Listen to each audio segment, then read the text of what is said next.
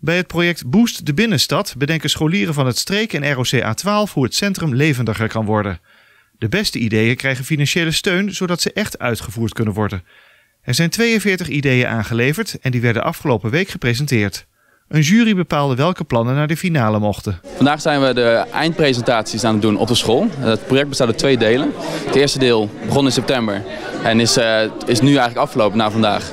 En dan worden er groepjes geselecteerd die mee de binnenstad in mogen. En in de binnenstad op 6 november gaan wij uh, de ideeën laten zien aan het publiek. Het publiek kan stemmen. Dat zal tussen 3 en half 6 zijn op 6 november voor de Grote Kerk.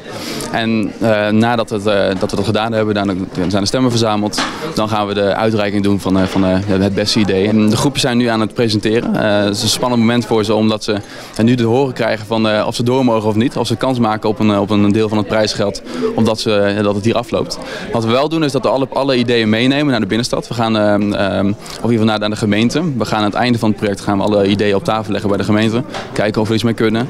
En dan uh, hopen we dat we daar elementen in zitten die we kunnen gebruiken. Die echt een bijdrage leveren aan het boosten van de binnenstad. Ja, dat er heel veel leegstand is en dat er te weinig evenementen zijn.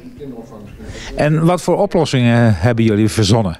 Nou, um, wij zijn meer op het evenement gegaan. En we hebben gezien dat bepaalde sporten als paintball of boogschieten of lasergame heel erg in een soort van rush zijn. Dus dat er steeds meer van komen.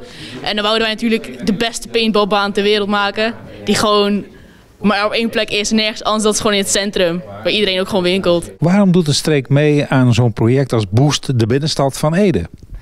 Wij uh, vinden het een heel interessant project. Een aantal jaren geleden hebben we met onze technasiumleerlingen een uh, project over de Doelenstraat gedaan, wat hierbij aansluit.